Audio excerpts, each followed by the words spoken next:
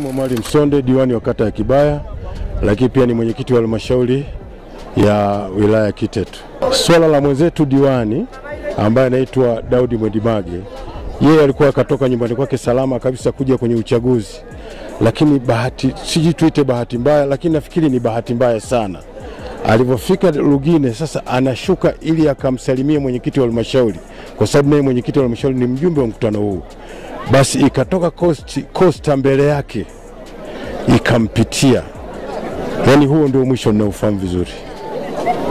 Alivyoshuka akawa anakatiza kwa mbele ili aende kwenye nyumba ya mwenyekiti wa halmashauri. Sasa ile kutokeza tu lile gari kosta iliyotoka kata Leseli ilikuwa ina, inapita sasa, inataka ivotekee gari lililosimama, ndio hapo hapo kagongwa na pembe ya, ya, ya, ya lile gari, ndio hapo hapo kaanguka, tukamsaidia tukampeleka Inkusero kituo cha afya, lakini wakatushauri kwamba tumkimbize e, tumkimbize hospitali ya wilaya.